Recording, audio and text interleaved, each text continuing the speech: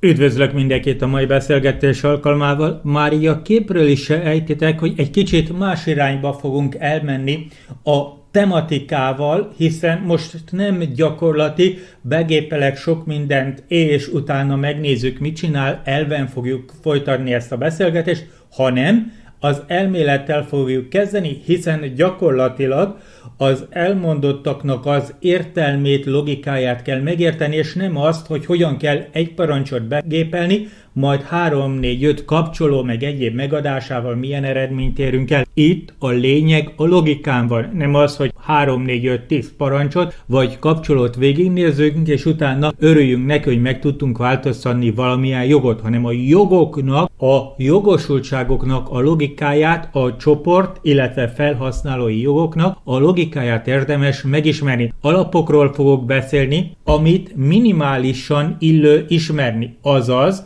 Nehogy azt higgyétek, hogy kimerítem a Linux, illetve az Unix rendszerek jogosultságának az összes, összes nüanszát. Nem.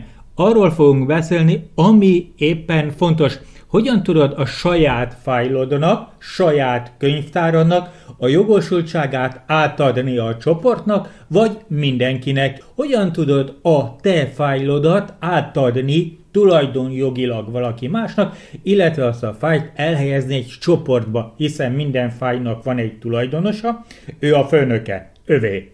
És van egy csoport, amelyik csoportba bele tartozik az a fájl, és akkor a tulajdonos eldönti, hogy saját magának, a csoportnak, illetve a többieknek milyen jogosultságot ad arra az egy darab eszközre nézve. A több felhasználós rendszer, ez nagyon fontos, soha ne felejtsd el, hiába te vagy egyedül a rendszergazda egy darab felhasználó a gépeden, azaz egy felhasználós módban használod a Linuxot, attól függetlenül ez arra készült, hogy nagyon sok ember egyszerre használja ezt a rendszert, legyenek benne csoportok, legyenek különböző felhasználók, és ezeket el kell egymástól szeparálni. Elvárt, hogy mindenhez legyen jogosultsági szint rendelve. Ezért, mert több felhasználós rendszer, és azért az én levelembe ne írjon be Kati, vagy én ne lássam, hogy a Kati milyen levelet, dokumentumot, képet, vagy akármit szerkeszt arra kell gondolni, hogy vállalatok számára nagyobb, kisebb, közepesebb vállalatok számára készültek ezek az Unix rendszerek, egyetemek részére készültek eredetileg az Unix rendszerek, akkor természetesen ott azért jó lenne, hogyha a tanár osztályozását, vagy a tanárnak a esetleg feladat feladását ne lássa a diák. Tehát el kellett szeparálni egymástól a felhasználókat. Nagyon fontos, hogy ki, mivel és mit tehet. Ki, mivel és mit tehet. Ezt te fogod szabályozni a saját gépeden. Épp ezért, ha már két felhasználó van, inkább így mondom, ha véletlenül előfordulhat talán valamikor az, hogy valaki leül a gépedhez és ott dolgozik, vagy maximum a levelét megnézi, tehát nem egy olyan igazából mélyreható dolgozásra kell gondolni, már a jogokat be kell állítani. Azaz, mindig tud, hogy te rendelkezel a saját állományaiddal, saját könyvtáraiddal, azt kivel osztottad meg, és kinek milyen jogosultságot adtál ahhoz az eszközhöz. Azt is kell tudni, hogy a root a rendszer gazda, vagy akár te a súval, vagy a sudóval emelt jogot szerzel, akkor mindenhez hozzáfér a rendszergazda, ő az Atya Úristen, a végső bíró, a végrehajtó és ügyész, vádló egy személyben, azaz azt csinál a rendszergazda, amit ő akar. Mivel egy, két, három, öt személyes gépekről beszélünk, tehát egy család használja maximum a te gépedet, azért ezt nem kell ennyire durván venni, de azt vedd komolyan, ha te rendszergazdaként belépsz a rendszerbe egy véletlen del gomb lenyomásával, a saját alapfelhasználói könyvtáradat simán el tudod tüntetni, ki tudod törölni. Az emelt jog emelt felelősséggel jár. Ha jól emlékszem, és biztos, hogy jól emlékszem, az ESH-t, amikor elindítottam, az első indításnál, és beléptem sudóval, rögtön kérte, hogy hát bizony etikusan, meg odafigyelve, meg egyébként is, hogyha rendszergazdaként tevékenykedsz, légy szíves odafigyelni, valamilyen kis szövegecskét kért, azaz emelt jog, emelt felelősséggel jár. Pontosan ezért csak akkor használt, ha feltétlen kell. Nem azért vannak a jogok, a jogosultságok szétválasztva a rendszergazda, felhasználó, felhasználó, másik felhasználó, és a csoport, és a másik csoport, mert valaki kitalálta, jó, bonyolultan kitújjon veled. Nem. Azért van, hogy te felhasználóként lépsz be a legtöbb Linuxba, és felhasználóként tevékenykedsz, és hogyha akarod, és van rá lehetőséged, akkor emelt jogot tudsz szerezni. Azért van szükebb jog egy usernek, egy felhasználónak, hogy nehogy túl nagy hülyeséget tudjon csinálni. És normális dolog az, ha nem mindenkinek van sudo joga. Például az Arch Linux telepítése után nekem eléggé furcsa volt, mert előtte nem azt használtam, hogyha létrehoztam egy másik felhasználót, és átléptem ahhoz a felhasználóhoz, hát aként szerettem volna dolgozni, kipróbálni valamit, és akkor a saját másik felhasználói könyvtárba való tevékenységgel, esetleg a munkára rendeltetett felhasználói könyvtáromat nem teszem tönkre, na ütöttem, hogy sudo, és azt mondta, hogy a bocsi tesó, neked ehhez aztán bizony nincs jogod, és nem engedte a sima sudozást, és még simán meg is fenyegetett, hogy ez már naplózva lesz, hogy te sudozni akartál, és nagyon-nagyon fura volt az elején, és azt mondtam, hogy ez hülyeség, de aztán rájöttem, hogy nem. A jog, a emelt felhasználói jog, az legyen annak kiosztva, annak a felhasználónak leosztva, vagy felhasználóknak leosztva, amelyek erre érdemesek, és tudják ezt rendesen kezelni. Azaz ne lepődj meg, hogyha van olyan rendszer, amelybe te belép, és a sudor azt írja ki, hogy bocsi tesó, te ehhez kisfiú vagy, nem léphetsz be sudóként, emelt joggal, és bizony ez naplózva lesz. Normális rendszerekben nyilvánvalóan egy sima felhasználónak nem biztos, hogy sudo joga kellene lenni. Oké, okay, az alapok. A alapjogokat, a felhasználói fáj, illetve könyvtárjogokat az LS kötőjel AL kapcsolóval tudod megnézni. Másfajta kapcsoló összeállítással is meg tudod nézni.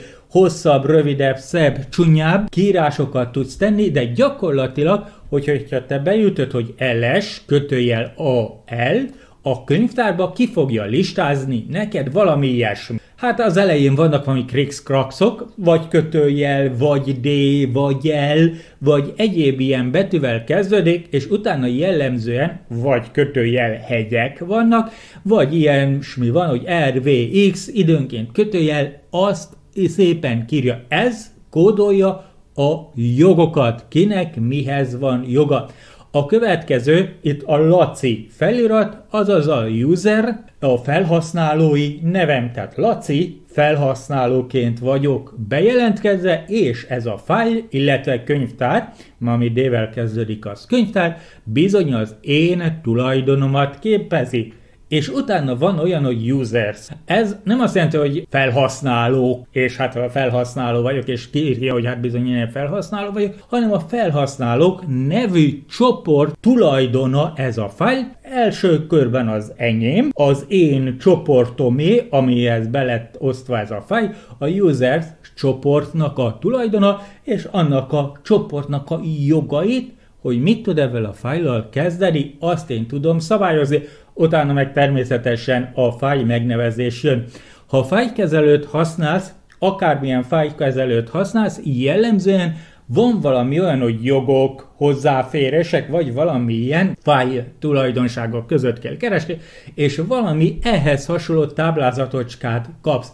Itt is kírja, hogy ki a tulajdonos, melyik csoportba tartozok, azzal a fájlal a fájnak mi a csoportja, és utána a tulajdonos csoport és az egyebeknek milyen joga van. Itt, ahogy lehet látni, a tulajdonosnak, ő én vagyok, olvasási, írási joga van, és futtatási jogom nincs a csoportomnak, a users csoportban lévő embereknek, inkább így mondom, olvasási joga van erre az adott eszközre, de írni és futtatni, végrehajtani, időnként így is nevezik, ahhoz bizony nincs joga, és a többiek olvashatják, tehát beletekinthetnek ebbe a fájba, vagy beléphetnek a könyvtárba, de írni és futtatni ők bizony nem tehetik meg. Erről szól az egész. Na nézzük is meg élőben, hogyan kell lefutatni ezt az iszonyat bonyolult parancsot, azaz lépjünk is át egy terminálba. Mivel én csempézős ablakkezelőt használok, így egymás mellett fogom tudni megmutatni azt, hogy hogyan működik terminálba, illetve azt is megmutatom, hogyan működik éppen egy grafikus programba. Beírjuk, hogy LS, kötőjel L, A, és Enter, és kírja, láthatóan szépen kírja, hogy bizony D, hát az könyvtár, RVXR kötőjel akármi, akármi, akármi, én vagyok a Laci, enyém a fájl, vagy a könyvtár jelen pillanatban, és az userek, users, csoport tulajdonát képezi, ha én csoportjogot adok meg, akkor azoknak az embereknek adom meg a jogot, akik bele vannak gyömöszölve a users csoportba, nem más ma, a user csoportba, nem a ezres csoportba vagy egyébbe,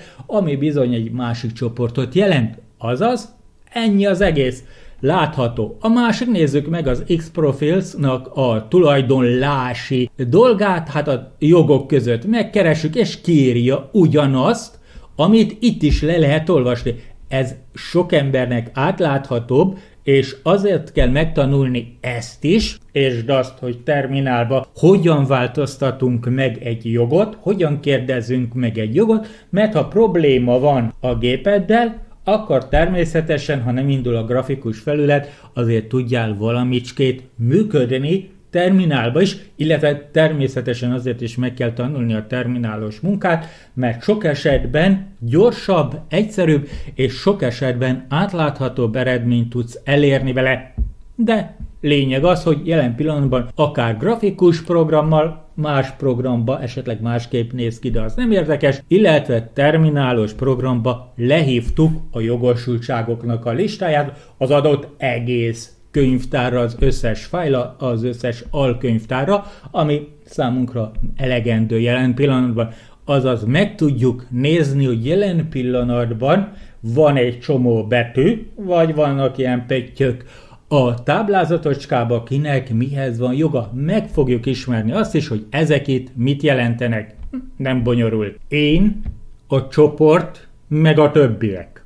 Ezt kell megjegyezni. Én, azaz a felhasználó a saját dolgommal szabadon rendelkezek, azt osztom meg a csoporttal, amiben benne vagyok, abban a csoportban, az adott csoportban, amihez tartozik az a fájl, amit ahogy és amikor én akarok, de megoszthatom mindenkivel, a többiekkel is, ezt a gondolatot, ezt a fájlt. Tehát én, mint tulajdonos tudok megváltoztatni bármilyen olyan jogosultságot, ami akár az enyém, tehát az én jogosultságomat is szabályozhatom, a csoport, a users csoport, hogy milyen jogokkal dolgozhassanak azzal a fájlal, vagy egyáltalán hozzá se férhessenek az emberek, akik abba a csoportban vannak, meg a többiek egyéb emberek számára is megosztható, vagy meg nem osztható.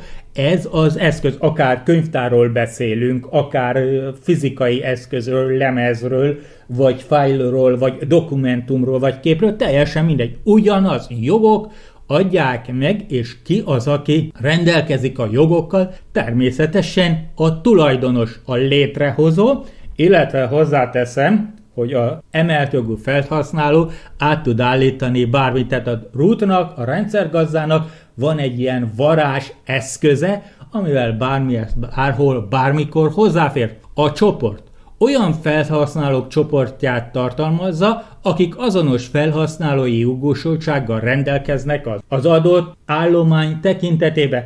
Azaz, hogyha én azt mondom, hogy az én dokumentumomat, ezt a PPT-t bizony a csoporttal, a users csoporttal meg szeretném osztani, teljes mértékben betekinthessenek, változtathassanak, hát itt futathatósági jogokat nem igazán kell adni, akkor azokkal az emberekkel tudom megosztani, a csoport szintjén, akik a users az adott csoportba beletartoznak, abba, ami ott a neve mellett szépen mindig ki van írva, hogy Laci és users, vagy akármilyen más csoport. Tehát ez a csoport nem olyan csoport, hogy gyorsan összedobálsz egy-két embert, gondolati szinten is egy csoport lesz, hanem csak azzal az egy csoporttal tudod alapszinten megosztani a te állományaidat, dokumentumjaidat, vagy akármit. A többiek, akik nem az adott csoport tagjai, ahhoz férhetnek hozzá természetesen, amihez a tulajdonos engedélyt adott. Azaz, hogyha te vagy a users csoport tagja, de nem tulajdonosa, ovnerje, annak a fájnak nem fog a többiek számára tudni megosztani. Azt hiszem egyértelmű a jogokat, két ember tudja megváltoztatni a tulaj, aki tulaj, akinek a neve ott van, illetve a root az emelt jogú felhasználó. A többiek, akik nem az adott csoport tagjai, ez egyértelmű. Ők más csoportokba tartoznak. Tehát olyan nincs, hogy valaki ne tartozzon egy csoportba, de nem abba a csoportba tartozó emberekről beszélünk, ami a fáj csoportja. Bár vonzó és praktikusnak tűnik, de én mindenkinek azt mondom, hogy nem kellene mindenkinek minden jogot megadni. Én nagyon ellenjavallom, bár vannak olyan élethelyzetek, amikor ezt érdemes megcsinálni, de nagyon ritka, és nagyon egyszerűen elvetendő szerintem, mert egyszerűbb a jogokkal egy kicsit idézőjelbe killódni, mint mindenkinek minden jogot megadni, mert van egy olyan parancs, illetve hát parancsnak a megfelelője, amikor egy adott felhasználói könyvtárra kiadjuk a CH mód kötőjel nagyer 777-es parancsot, és akkor az összes állomány, az összes konfigurációs fáj, az ami az alatt a könyvtár alatt van, alkönyvtárakkal együtt, olyan jogokat kap, hogy mindenki mindenhez mindent csinálhat, hozzáférhet, ezt kerülni kell. Azért vannak elszeparált felhasználók, még egy személyes gépen is, ha többet létrehozol, hogy nem kell belepancsolni a másik dolgaiba, tartsuk tiszteletbe azt a rendszert, amit kifejlesztettek, nem ok nélkül készült el. Oké, okay, egy kis hát bemutatás a csoportokra, a csoportokkal való gondolkodásra. Én, ez én vagyok, a tulajdonos, aki birtokolja, létrehozta az adott fájt, én beletartozok a sárga csoportba, ő a sárga csoport, és a kék csoportba is beleraktak engem. Én vagyok a sárga csoportba. Én, hogyha létrehozok egy fájt, és az a csoport nevet, az a csoport tulajdonságot adom neki, hogy sárga, a csoport neve az, hogy sárga, akkor az lesz kírva, hogy Laci és sárga. Akkor Mari, Évi, Sanyi nevű felhasználók részére tudok adni valamilyen jogosultságot. Hiába vagyok bent a Kitty, Kati és a Pali a kék csoportba, én bizony úgy, hogy én és Sárga nem tudom megadni a Katinak, a Kittinek és a Palinak a jogosultságot.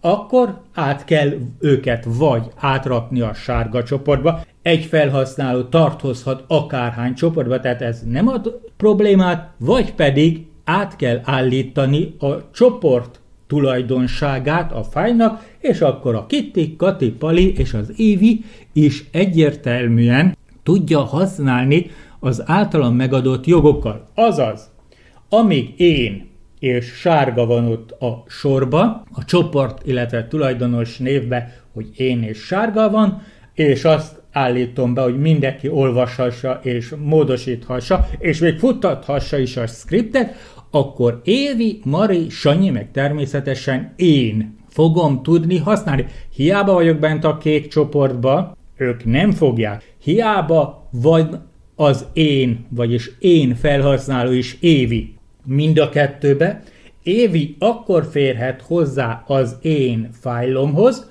hogyha a csoportnak megadom, akár a kéknek, akár a sárga csoportnak a jogosultságot ahhoz, hogy hozzáférjenek az én állományomhoz. Akár azt mondom, hogy a sárga csoportba teszem be, akár a kék csoportra rakom rá ezt a fájt, hogy ők használhassák, papa meg Peti nem fog hozzáférni. De hogyha én azt mondom, hogy beállítom azt, hogy a sárga csoport, ez a fájl én és sárga a tulajdonsága, én és a sárga csoport. Írhatom, olvashatom, futhatom, és a többiek, akik nem ebbe vannak, azok csak megnézhetik, beletekintessenek, akkor Peti, Papa, Kiti, Kati és Pali bele fog tudni tekinteni az adott fájba, de Mari, Sanyi, Évi és én természetesen futtatni és változtatni is tudom. Mindig ilyen halmaz szerint gondolkodjatok, és természetesen nem kellem kiemelni, hogy a rút azért piros és különálló, hogy ő bizony akkor állítja át a jogokat, amikor akarja. Ha én azt mondom, hogy a sárga csoportnak, grupnak megadom azt a jogot, hogy ír, olvas és futtat meg mindent csinálhat, attól függetlenül Mari, Évi, Sanyi nem fog tudni változtatni nagyon a jogosultságokon, mert ők csak ahhoz jogosultak, hogy a fájt olvassák, a fájt módosítsák, vagy a fájt futtassák, de az attribútumjaikat, a tulajdonságaikat nem fogják tudni megváltoztatni, kivéve kicsoda, hát nem a gyevibíró, hanem a root. Minden fájnak van egy tulaja, ovner, és van egy csoportja. Oké, okay? erre mindig figyeljek a grup.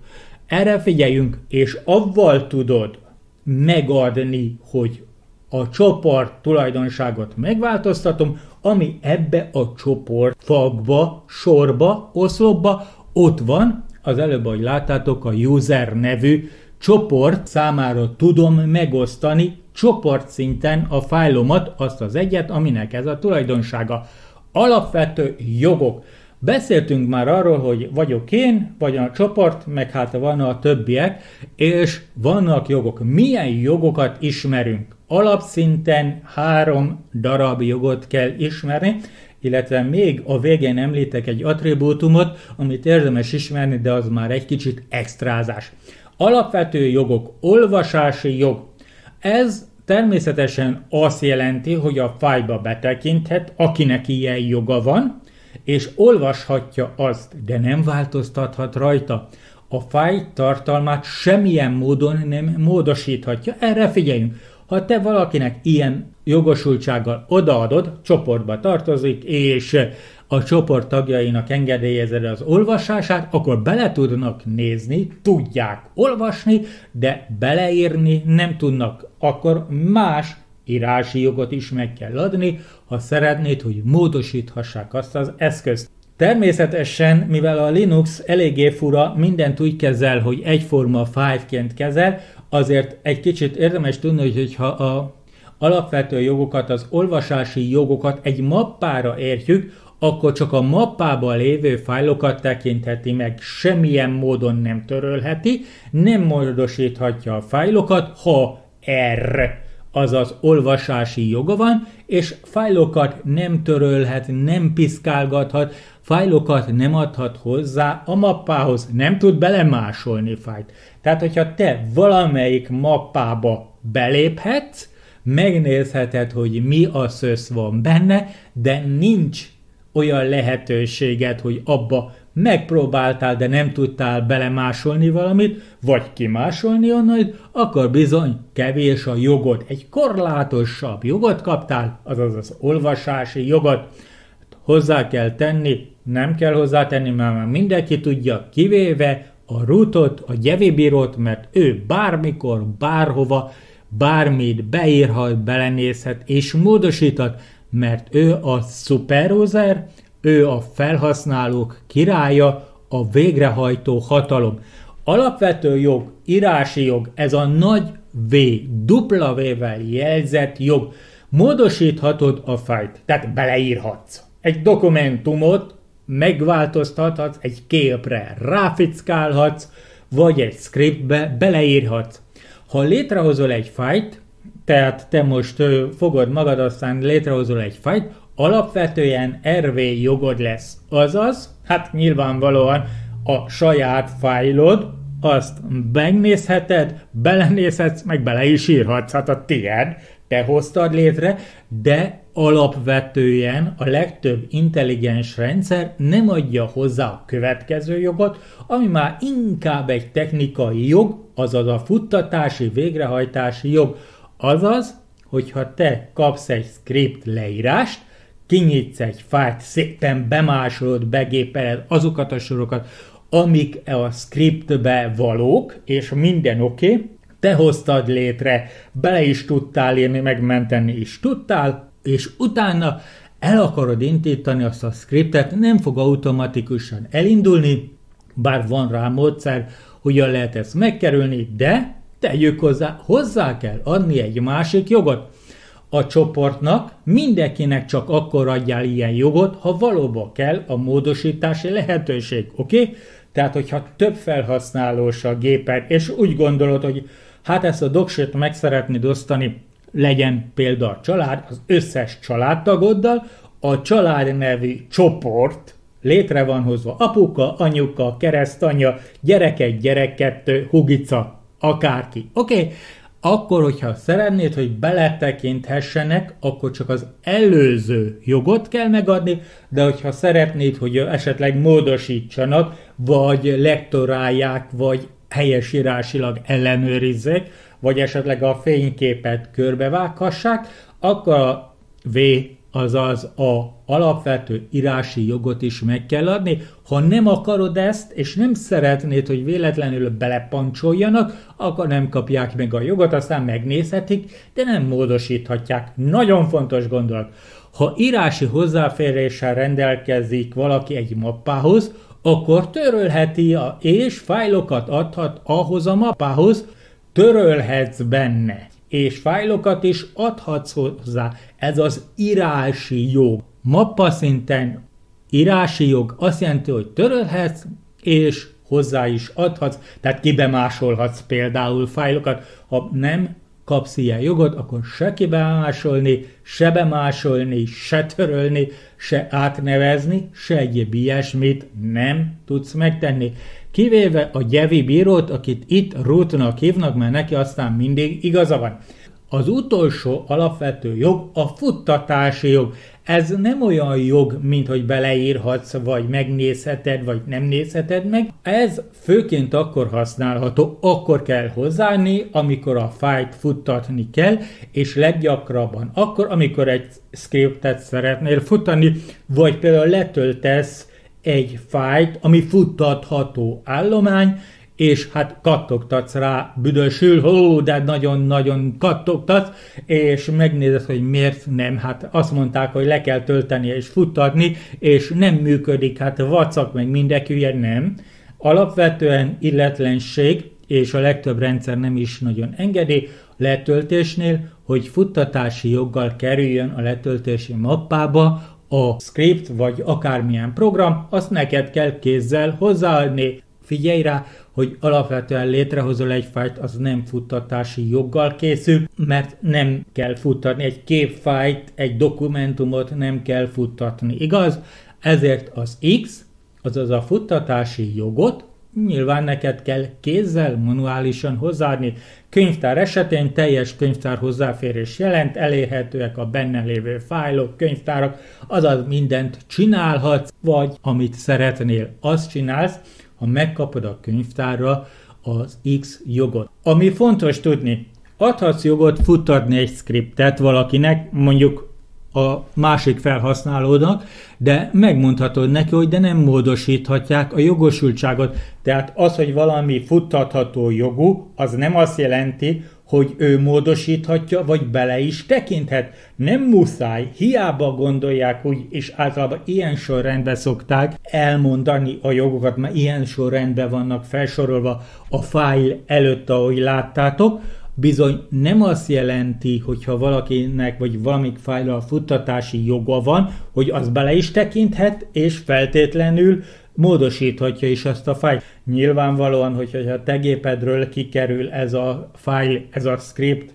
a másik gépen, a másik felhasználó, ha root jogot tud szerezni, akkor természetesen átírhatja ezeket a jogosultságokat, és módosíthatja, illetve bele is nézhet ezek a zártabb jogosultságok, annak az előnyei jellemzően egy hálózaton belül egy rendszeren belül érvényesek teljes mértékben, hiszen hogyha valaki fogja a te titkos scriptedet, és átviszi egy másik gépre, ahol root joga van, hát bizony megváltoztathatja a jogosultságokat. Hát azért root, hogy mindent megváltoztathasson.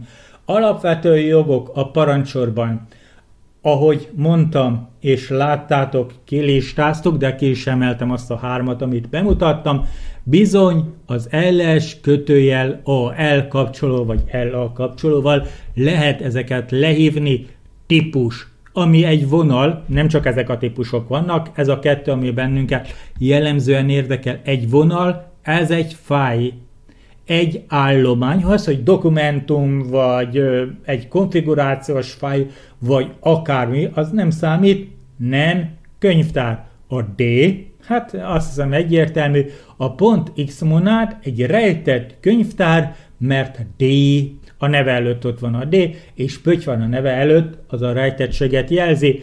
Ennek a Laci a tulajdonosa, ez az én alkönyvtáram, és a users csoporthoz van hozzárendelve, azaz, hogyha én azt szeretném mondani, ahogy itt be is van állítva, hogy minden user, aki ebbe a csoportba beletartozik, ebbe a könyvtárba beléphet, a fájlokat kilistázhatja, törölhet, módosíthat egyéb, az bizony be van itt szépen állogatva. X-profil az egy fájl, aminek én tulajdonosként RVX olvas, ír, végrehajtó rendelkezési jogom van. A következő három betű R kötőjel X az azt jelenti, hogy bizony read olvashatja, de nem módosíthatja, de futhatja más is az X-profil nevű fájlomat, és a csoport után jön a többiek,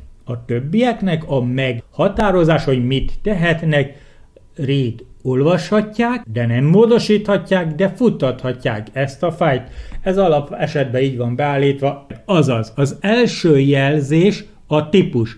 Következő három a tulajnak a joga, következő három a csoportnak a joga, azoknak az emberkéknek a joga, akik a users csoport tagjai, az utolsó három darab jelzés RVX, olvas, ír és végrehajt, az bizony a többieknek a jogosultsága. Itt látható, erre a fájlra nekem olvasási, írási jogom van, végrehajtási jog erre nem kell, a többieknek meg kus, teljes mértékben kus, semmi közük, nincs joguk. Nem is igazán fér hozzá más egyébként, de lényeg az, hogy szépen be lehet skálázni.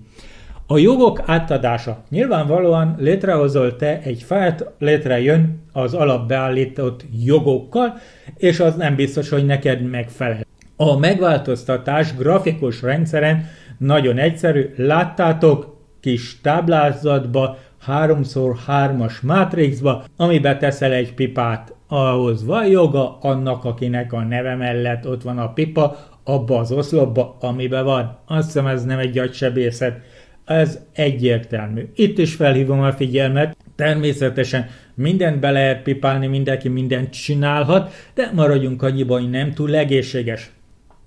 Oké, okay, ez az alapállás, hogy az emberek jellemzően grafikus felületen dolgoznak. De mivel mi most a terminálos munkával fogunk megismerkedni, meg kell ismerkedni a CH mód, kis C. Természetesen H változtassuk meg a módot, a jogosultságot. Ennek három, négy, öt olyan dolga van, amit érdemes tudni. Az első blokk, amit nyilván logikus, ha hozzá szeretnél valamihez adni valamilyen jogot, akkor egy plusz jelet kell a jog elé tenni hozzáadom. A elvétel a jognak mínusz, azaz elveszem az engedélyt, illetve van egy ennél összetettebb, egyszerűbb, bonyolultabb ki, hogyan mondja, hogy beállíthatod egy jelzéssel, egy sorban az összes engedélyt egy egyenlőségjelre annak a felhasználásával. Nem túl bonyolult, mutatok rá példát. Ha a olvasási jogot akarod hozzáadni, akkor plusz hozzáadom, és az olvasási engedély a read, azaz R betű hozzáadásával történik kis R. Jó? Ha valakitől el akarod venni az írási engedélyt, akkor mínusz, kis v, írási engedély elvétele hozzáadása. Ez a lényeg. Az X, tehát a végrehajtási futtatási engedély hozzáadása a plusz X-el történik. Tehát ha hozzá akarsz adni plusz X, ha le akarod venni a futási jogot, futtatási jogot, akkor mínusz X lesz a attribútuma ennek a CH mód parancsnak. Hogy kinek szeretnéd adni, azt is meg kell mondani, nyilvánvalóan logikus, ha saját magadnak, tehát a tulajdonosnak akarod megadni a engedélyt, vagy annak az engedélyét akarod elvenni, akkor az U kapcsolót kell használni G. Az engedélyek beállítása a csoportnak, a group. Tehát, hogyha az egész csoportnak szeretnél egy plusz V-t adni, egy írási engedélyt, azt is meg kell adni, hogy kinek. Ha a csoportnak szeretnél adni egy futtatási engedélyt az adott scriptre, akkor G plusz X. Ennyi CH mód, G plusz X, és akkor az egész csoport tudja futtatni azt az állományt. A O, óter, mások, többiek, hát természetesen a csoporton kívüli emberkékre szeretnél jogot adni, vagy jogot elvenni. Általában, hogy, hogyha nincs más, és nem nagyon akarsz te ezzel foglalkozni, ők semmit ne kapjanak, a te csoportod az, amelyik megbízható, oda vagy beosztva, vélhetően tudatosan, és akkor önekik adsz jogot, a többiek majd, hogyha belekerülnek a csoportba, akkor kapnak. Van egy lehetőség, ami tulajcsoport mindenki más együttes megadására való az al, ol felkiáltású rövidítés a. Tehát, hogyha azt mondod, hogy a plusz vxr, rvx, hogy sorba legyen, akkor a mindenkinek, csoportnak, a többieknek, meg saját magadnak megadod az olvasási, írás és a végrehajtási engedélyt.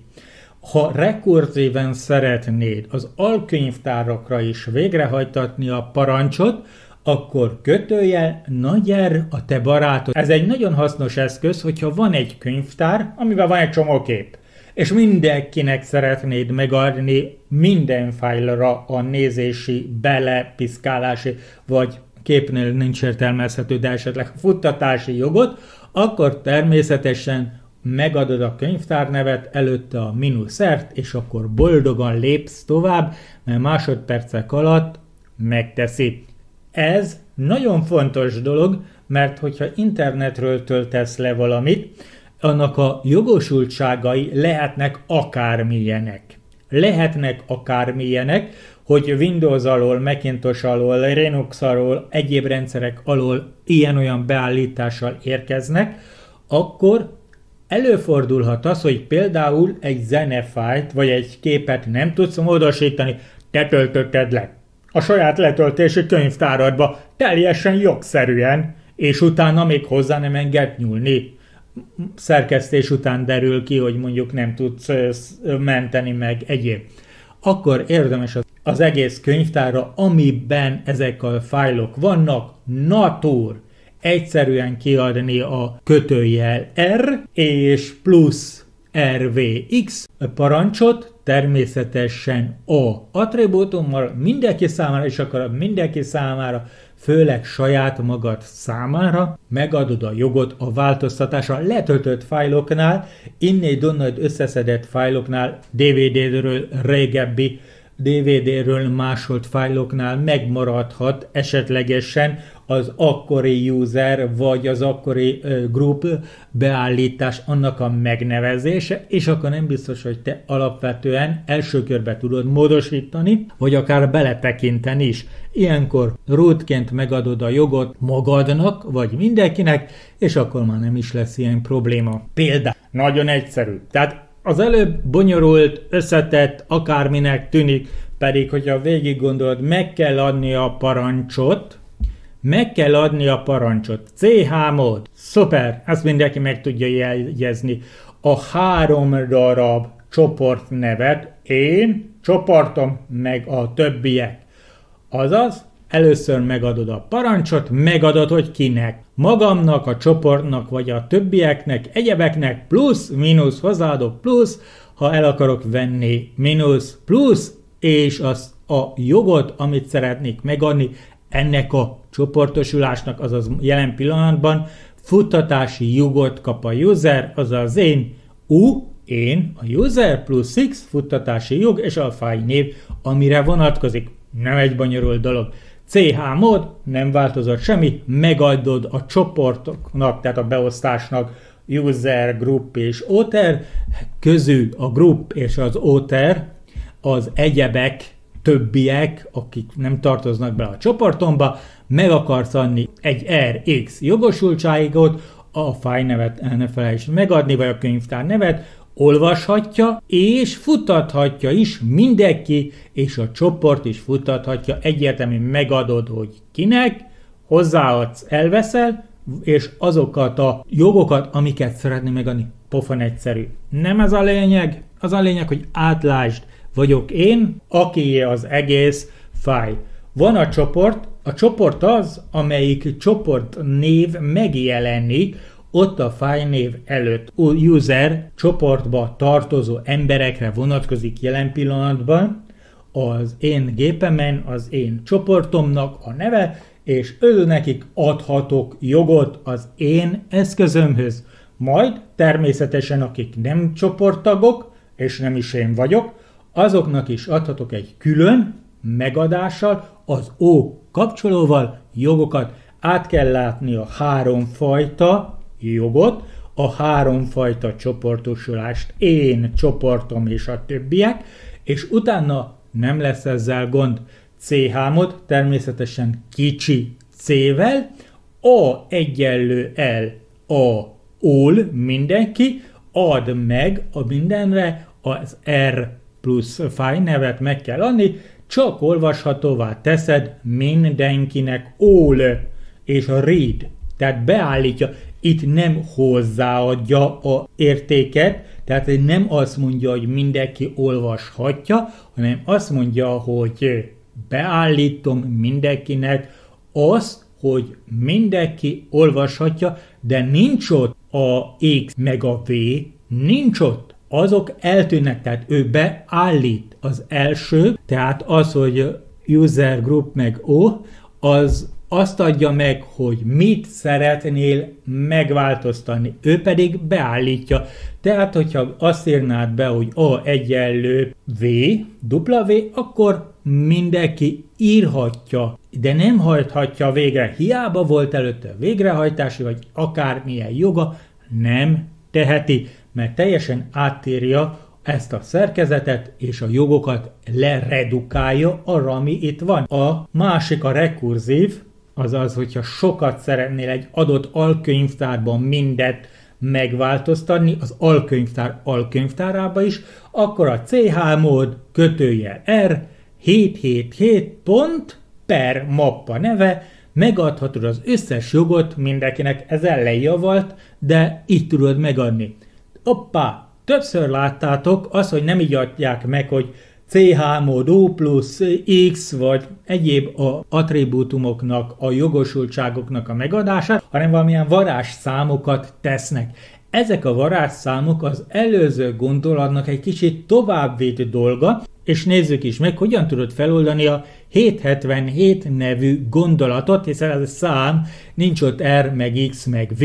Ez nagyon jó gondolat, bár én nem szeretem. Én bevallom őszintén, én jobban szeretem megadni az RVX meg egyéb sorozatban pontosan betű szerint azokat a jogokat, amiket én szeretnék, nekem az valahogy átláthatóbb. Na, kitalálták azt, hogy jó lenne, tulajcsoport mindenki más olvasás, írás és a futtatási joghoz hozzárendelni egy-egy számot. Ez a bitváltoztatások, melyik helyzetben mit változtatunk meg, felkiáltású dolgot, variálja át egy decimális, tehát általunk azért jobban átlátható, érezhető számmá, azaz, hogy az olvasási jog négy. Van egy értéke, neki négy. Az első, a százas érték a tulajé. A tízes érték, tehát a középső szám a csoporté. A utolsó a egyes, egyes értékű szám, az mindenki másé. Azaz, hogyha mindenkinek szeretnél egy olvasási jogot adni, akkor CH mód 444 és a fáj nevét megadod. Ha írási jogot szeretnél adni valakinek, akkor a kettest használod erre. Kettő, kettő, kettő. Ha azt szeretném, hogy csak nekem legyen írási jogom, akkor beütöm, hogy tulaj, az a kettes, az első kettő, kettő, nulla, nulla, és akkor csoport, és mindenki más, semmi joggal nem rendelkezik ezen téren. Futtatási jogot az egyes értékkel adod meg. Ha több jogot szeretnél adni valaminek, akkor kitalálod azt, hogy kinek milyen jogot szeretnél adni. Ha tulajnak szeretnél olvasási, írás és futtatási jogot, akkor előbb mondtuk, hogy négyet kell beírni.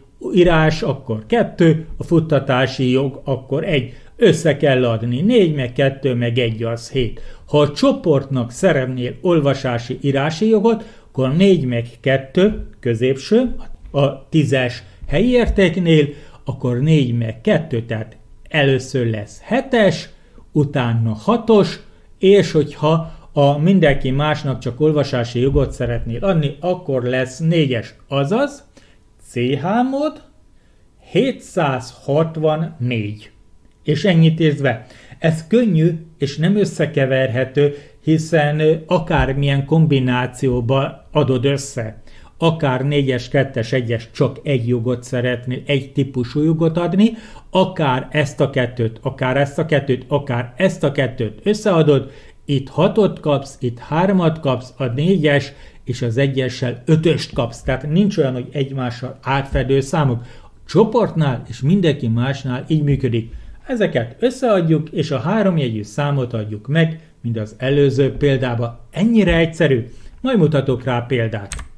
Tulajdonos és csoportváltás. Hát a tulajdonos, én vagyok, ha létrehozok egy fájt, akkor ő az enyém teljes mértékben, ha pedig szeretném átadni ezt egy másik létező felhasználónak, akkor nagyon egyszerű a dolgunk, beírjuk, hogy CH-OVN, az ovnert, a tulajdonost változtatjuk meg, utána megadjuk, hogy kinek akarjuk adni, majd azt meghatározzuk, hogy melyik fájlt szeretnék neki átadni. Tehát, hogyha például mint a TXT-t szeretném Katinak átadni, mint létező felhasználók, a tulajdonjogát.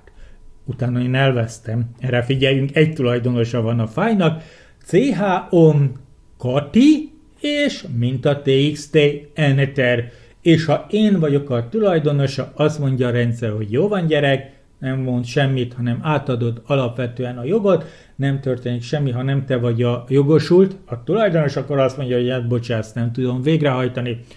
A fájl csoportját is meg tudod változtatni, hiszen előbb volt kék csoport, meg sárga csoport, meg akármilyen csoport. Hát nyilvánvalóan a grupot fogjuk megváltoztatni, CH Group, CHGRP az új csoport neve, létező csoportnevet kell megadni, meg megadod, hogy melyik fájt szeretnéd átpasszolni abba a csoportba.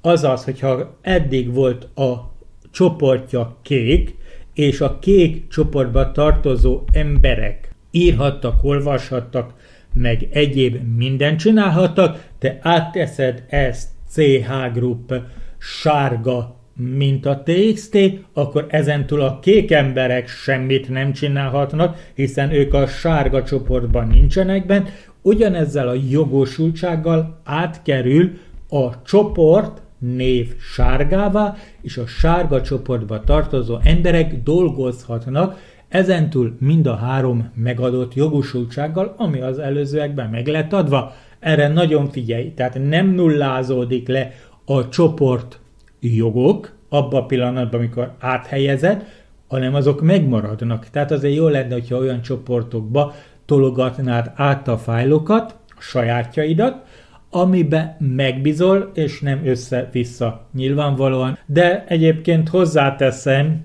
sokkal gyorsabb egyben megcsinálni, CHOVN, Laci, tehát a user, az új user nevet, új felhasználói nevet, akinek átpasszolsz, kettős pont, abba a csoportba, amiben te szeretnéd belepaklázni, és megadod a fáj nevét. Tehát CHOM, Laci, kettős pont, teszt, minta TXT, átteheti mondjuk Kati ezzel a parancsal én tulajdonomba ezt a fájt, és a teszt csoportban lévő emberek számára teszi ezt csoportosulásá, csoportba abba helyezi be. Hát nagyjából ennyi az elmélet, nézzünk egy-két példát. De igazából nincs érdekes példa, mert nagy változtatás nem lát. Nem fog megváltozni a fájl, nem lesz lilább, kékebb, nagyobb, kisebb, nem fog semmi történni fizikailag a terminálba, csak egy jel mozdul odébb, és ezt szerintem a parancs beírásával, a logika megértésével, a parancs kapcsolók megértésével, hogy először megadott, hogy CH mód, utána megadott, hogy kire, kikre, vagy a többiekre vonatkozzon, és elvenni, vagy hozzá akarsz adni jogokat, ennyi. Ezen kívül semmi érdekesség nincs. Ahogy látni, létrehoztam egy nagyon izgalmas nevű fájt, aminek New a neve. Nézzük meg, milyen jogosultságokkal rendelkezik LS kötőjel LA és Enter. A New-nak van egy tulaja, ez én vagyok, most hoztam létre, január 11-én 19 óra 05-kor, illetve a users csoportba raktam, ez az én főcsoportom, ezzel jön létre a fájl, és ez a beállítása, alapbeállítás mindenki olvashatja, RRR a hármas tag első része, tehát read olvasható mindenki számára a csoportomba, azaz a user csoportba tartozó emberek között, és a többiek is olvashatják. Write, én írhatok vele, természetesen, hát write, hát írható, és mivel én hoztam létre, nyilván azért hoztam létre, hogy használni tudjam, de sem a csoportom ki van húzva, sem pedig a többiek nem. Egyértelmű, és mind a három blogba, első, második és harmadik blogba egyértelműen ki van húzva a futtatási jog. Mivel én ebből egy scriptet szeretnék készíteni, nyilvánvalóan egy olyan megoldás kellene, hogy adjunk neki már szegényemnek valamilyen futtatási jogot. Beütött, hogy CH mód U, ez a user, ez én vagyok, megkeresed a pluszt, és a futtatási jog, az exekútor jog X. És kap egy X jogot, és leenterezzük. Nem jó, mi a hiba? Hát meg kell adni a fáj nevet, ami a nyelv, és már már is nem lesz hiba. Nem sír, nem ré. Azaz, ha hülyeséget érzve, mármint technikailag hülyeséget érzve, vagy nem ismeri fel a kapcsolókat, vagy nincs olyan fáj, vagy nem adod meg a fájneved, akkor szól. Tehát erre mindig figyelj. Most kérdezzük le, hogy valóban megváltozott-e, tehát futtatási jogot kapott ez a fájl, egy törlés után ls kötőjel la, és mi van? És megváltozott a színe is, és RVX tehát ide bekerült az X, a végrehajtási jog. Adjuk meg mindenkinek a futtatási jogot, megadjuk a CH mód, kinek, a grupnak, az oternek, és szeretnénk megadni plusz, nem elvesszük, pluszoljuk, és az X jogot megadjuk mindenkinek, és leenterezzük, de először beírjuk, hogy new. És történt valami, látszólag nem, de gyakorlatilag megnézheted, hogy most már mindenkinek ott van az X joga. Erre van lehetőség, megnézheted grafikus felületen is, hogy hogyan működik. A, nyilvánvalóan a futtatjogot mindenkinek megadtuk, az olvasási jog alapból bent volt, és az írási jogok hiányoznak, mert az ott van a kis vonalka. Itt, meg itt. Ennyi az egész. Ennyi az egész. Nézzük is meg most az A egyenlő akármi kapcsoló mit csinál. CH mód A egyenlő, és mindenkinek adjunk meg minden jogot. Jó? Az a legegyszerűbb, mert RVX, és akkor megadom a file nevet, és enter semmi nem történt, de az LS után látod, hogy mindenki bármit csinált, mindenkitől el fogunk venni minden jogot. Kivéve a belekukkocskálási jogot, tehát csak az R-re állítom vissza, enter, és mi történt? És látható mindenkinek lenullázta. Arra figyelj, hogy hozzáadás azt jelenti, hogy azt a jogot megkapja. Az elvétel, a mínusz azt jelenti, hogy elveszi. Ha pedig az egyenlőséget használod, akkor a teljes jog sorozatot meg kell adni, mondjuk olnak mindenkinek, de ugyanúgy a grupnak, vagy a felhasználónak, a usernek is ugyanígy beállíthatod U egyenlő RVX parancsal a teljes jogosultságot, nem hozzáad, hanem akármi volt idáig, arra átváltoztatja, erre nagyon figyeljetek.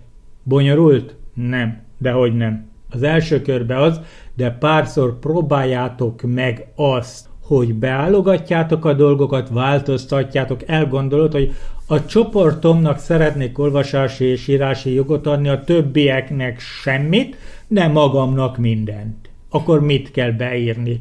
Ha pedig mindenkinek mindent meg akarok adni, CH mód, oppá, 777, ez mindenkinek minden, nyelv, engyenlő, és leellenőrizzük, és meg is kapott mindenki mindenféle jogot, hogy te ezeket a betűs megoldásokat nekem átláthatóbb, vagy a 777, illetve hát a számokkal való megadást, változtatást szeretnéd használni, gancegál. Teljesen mindegy. Lényeg az, hogy tud, hogy magadnak milyen jog kell, magadnak ervé jog legyen. Ha más nem indokolt, ha futtatni akarod az X jogot is megadod, a csoportnak olyan jogot adsz, amilyet akarsz. Gyakorlatilag egy felhasználós gépen teljesen mindegy, hogy ő neki milyen jogai vannak, de ha már két felhasználót csinálsz, és esetleg ide-oda szeretnél mozgatni a kettő között két felhasználó ként, egyik vagy másikként belépve szeretnéd ugyanazt a doksit szerkeszni, ugyanazt a konfigurációs fájt használni, ide-oda másolgatni, home könyvtárak között, akkor azért a jogosultságokra figyelj, mert nagyon nagy szívás, amikor saját magad létrehozol egy másik felhasználót, mert hát tiéd a gép, minden a tiéd, aztán, aztán nem enged be abba a könyvtárba. Vagy belépsz a másik felhasználóként, és nem enged be a saját könyvtárba, mármint az eredeti sajátba, azért ilyenbe beleütközhet az ember, és ez elején fura lehet. Itt valóban nagyon el vannak szeparálva a jogok, a felhasználók és egyebek, és ez nagyon-nagyon jó. Nagyon-nagyon jó. Bár nem az adott témához tartozik, de érdekességként bemutatom, hogy egy új Picon villát, azaz forkot próbálgatok, tesztelgetek, kilódom velem, elég bonyolult, sok mindent tud, ezért eléggé összetett a beállítás. Mennyivel tud többet, mint egy alapkompozitor? Egyrészt természetesen az átlátszóságot be lehet állítani, de ami nagyon jó benne, hogy a mögötte lévő, jelen esetben a hátteret nem egy az egybe, egy kicsit átlátszóbb, áttetszőbb módszerrel, hanem ilyen elmosódottan mutatja be. Azaz, hogyha te ezt az ablakot használod, és számodra hát zavaró az, hogy élesen átlátszódik, ami alatta van, akkor ezt a beállítást megteszed, és akkor ilyen elmosódottan, mindegy martüvegen vagy opál üvegen keresztül látod a hátteret, megvan az áttetszősége, átlátszósága, látod, hogy az aktív ablak, illetve az inaktív ablak között mi a különbség, tehát a két ablakot másra állítottam, beállíthatod, hogy ne látszódjon át. Természetesen, ha zavar, de nagyon szép ez így, és nézzétek meg ezt a váltási effekteket, hogy mennyivel, láttátok? Egy kicsit olyan, hát olyan menőbbé teszi, a ablakkezelést nem azt mondom, hogy ennélkül nem lehet élni, persze egy kicsit lassúra állítottam, tehát 500-as millisekundumra állítottam, én százason használom, az gyorsabb, de mondjuk ki azt, hogy bár azt mondják, hogy az X3, X-monád, egyebek, hát olyan nagyon-nagyon fapadosak, nincsenek rajta effektusok, persze nincsenek, de ha a pikomot és megfelelő pikom villát használod, akkor már egy kicsit olyan attraktívabbá tudod tenni a keretjeidet is, keretek, egy picit le lehet, bár nem nagyon lehet látni, picit le lehet kerekíteni a sarkokat, a váltásokat egy, hát érdekesebbé lehet tenni, tehát valljuk be, az átlátszóságot is egy kicsit föl lehet dobni azzal, hogy inkább ilyen opálosabb lesz, és nem teljesen átlátszó, különböző fokozattal, de élesen lehet látni, hanem olyan matt üvegszerűen lehet rajta látni, mint amikor matt üveges fényképezőgéppel rosszul állítja be az ember az élességet, ilyen szórtá. Nagyon professzionális, vagy legalábbis nekem nagyon tetszik. Na, vissza az eredeti témához. Az elején megígértem, hogy mutatok egy érdekesebb beállítási lehetőséget, ez nagyon hasznos tud lenni, meg nagyon bosszantó is, hogyha rosszul használod, Azaz nem jogosultság, hanem attribútum. A fájloknak van egy olyan tulajdonsága sok egyéb mellett, amit attribútumnak hívnak, de erre nem térek ki teljesen, csak egyet mutatok. Egy érdekesebb beállítás CH attr, tehát az attribútumot változtatom meg, plusz I immunitást adok a fájnak, ami fájnév követi. Tehát, hogyha minta TXT-vel szeretném elérni ezt az eredményt, akkor azt beírom, hogy ch atr plusz i, mint a txt. Enter. Ez immunitást, teljes immunitást ad a fájnak, sem módosítani, sem törölni nem lehet, majd hiába van írási, olvasási, futtatási jogod, nem fogod tudni sem megváltoztatni, sem pedig törölni. Akkor érdemes használni, amikor valamit stabilan szeretnél tartani. Én ezt akkor használom, hogy, hogyha van olyan fájl, aminek stabilitását meg szeretném őrizni, mondjuk van egy jó hosszú katalógus fájlom, mondjuk író, könyvcím és a könyvnek a helye. Ez egy példa. Jó? Nagyon jó példa. Ebben szoktam keresni, hogy az XY írótól ez a könyv megvan-e, ez a kiadás az, ami megvan nekem, vagy esetleg ezt a könyvet még a gyűjteményembe bele kéne tenni. Ez egy lista. Ha én keresek ebbe, és esetleg beleírok, mert Ctrl-F keresés, és utána véletlenül lenyomok valamit, vagy törlök, beletörlök, akkor ennek az integritása elveszik, az értéke elveszik. Kapott egy plusz i attribútumot, aztán sem kitörölni nem tudtam véletlenül, sem pedig beleírni, sem módosítani, semmi, semmi, semmi egyebet tenni vele. Azaz nagyon kényelmes dolog. Levenni természetesen az előzőek logikája szerint ch atr minus i fájnév. Azt hiszem ezt nem is kell megbeszélni. Hát köszi szépen, hogy meghallgattatok. Érdemes a jogosultságokat átgondolni. Gyakorlatilag a jogosultságokat úgyis grafikus felületen változtatjátok meg, ott is ismerni kell, hogy melyik mit és hogyan jelent, és azért át kell gondolni, hogy kinek, mikor és hogyan, milyen jogokat adunk, de azért ismerendő az is parancsorból, mit, hogyan kell megváltoztatni, és milyen lehetőségek vannak azért, mert sok esetben kényelmesebb és gyorsabb parancsorból egy nagyobb állományt mármint sok fájlt egybe megváltoztatni, mint mondjuk grafikus felületen. Köszi szépen, sziasztok, sziasztok!